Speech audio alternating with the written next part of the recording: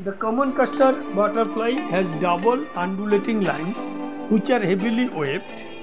The flight of, of the butterfly is typical with slow beating of wings and intermittently sailing like sailors with jerky and irregular movements.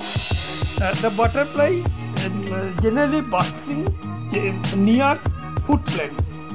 Its fly above 1.5 meter from the ground, often setting on the leaves and low bushes.